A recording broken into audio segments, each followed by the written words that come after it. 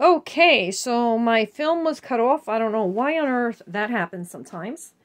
I put onion peels in here, and there is one little, oh, I guess it's floating now, right? One little garlic peel in there. I had the last little bit that I had here, I decided not to heat it up or put some hot water in it, although I was able to dilute it, but I chose against it because I was going to put some honey, uh, fermented honey with onions. The onions are already dissipated, and that's why uh, this was a little more watery before. But anyway, it tastes delicious with milk and honey. Uh, you should put milk when you have cloves in there, which, where are the cloves? Didn't I put cloves in here? I know I put clothes in there.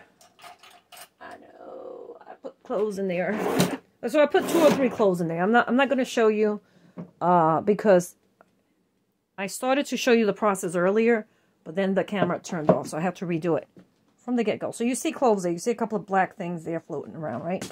Okay, so hopefully the camera won't turn off again because I can't keep repeating.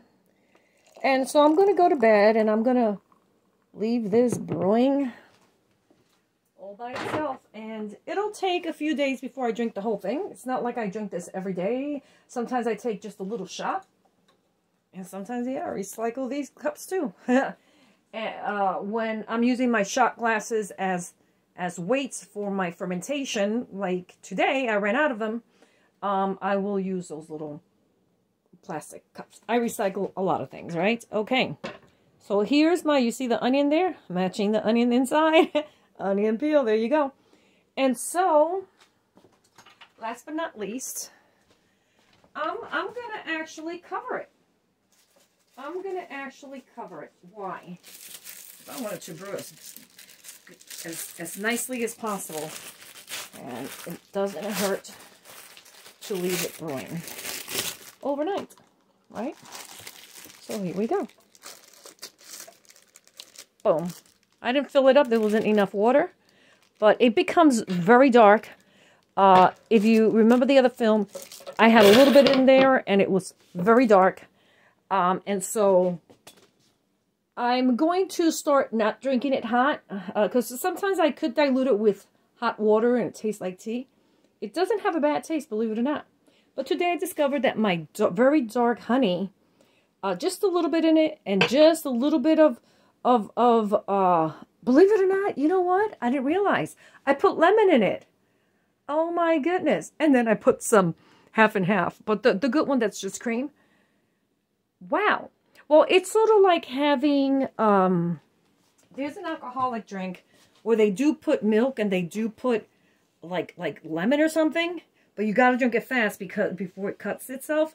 So maybe that's why I got away with it. But I didn't realize that I had already put, here's one or the other typically, right? But it actually really tastes good. It actually really tastes good. So it's okay to do that, I guess, right?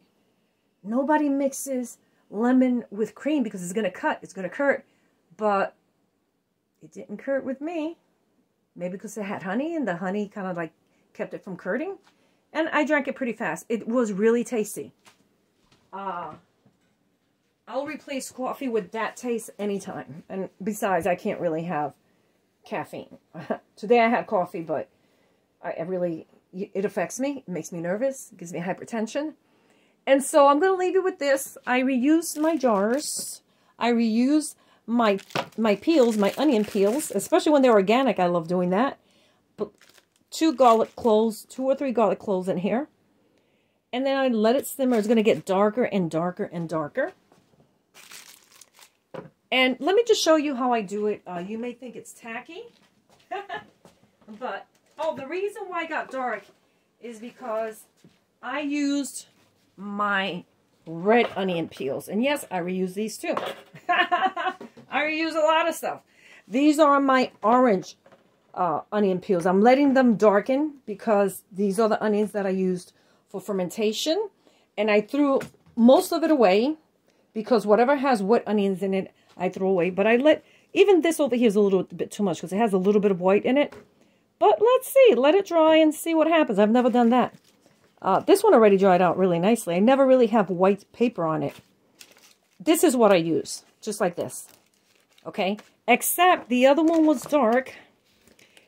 And that's because I used dark red onions. So this one's probably not to be expected to be very dark. As you can see, there are some garlic peels in here. Look at that. Just garlic peels. And it makes for a great drink. And guess what? It's free.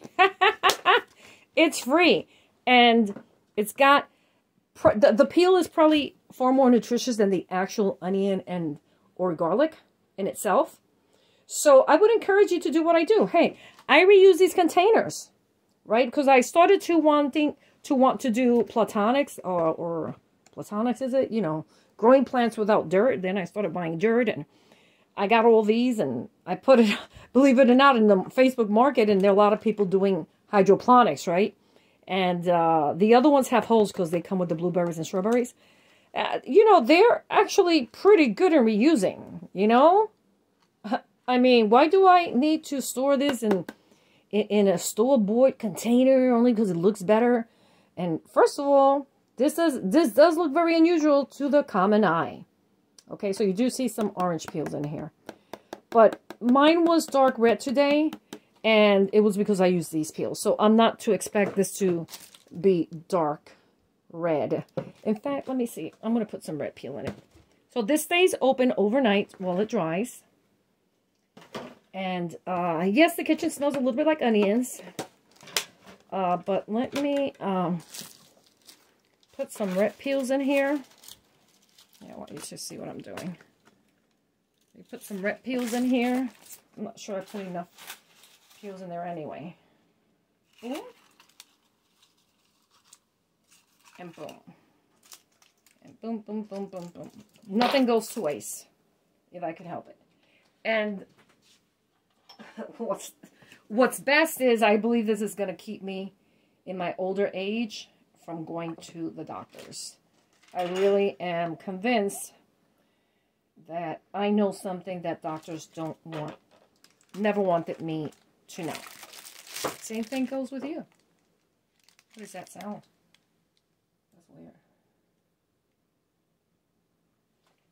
Okay, thank you, and have yourself a great evening. Bye now.